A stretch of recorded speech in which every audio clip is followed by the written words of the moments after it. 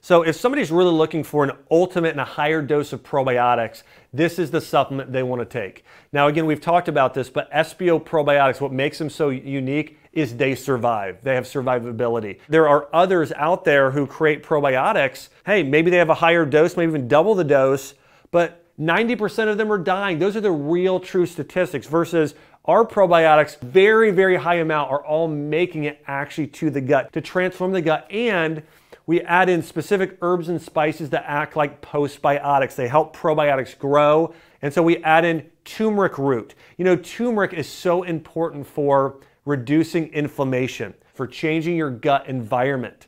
Ginger root. Ginger is an ultimate immune and gut tonic. It reduces inflammation and strengthens the digestive system. We also add in black pepper, which helps turmeric circulate and get throughout the entire body and help warm up the gut a little bit. This formula is very strategic in warming up the gut, drying out the dampness. So you're literally changing the environment. So think about a garden, right? If it doesn't have the right pH of the soil, if it doesn't have the right nutrients, if it doesn't have just soil generally, plants can't grow.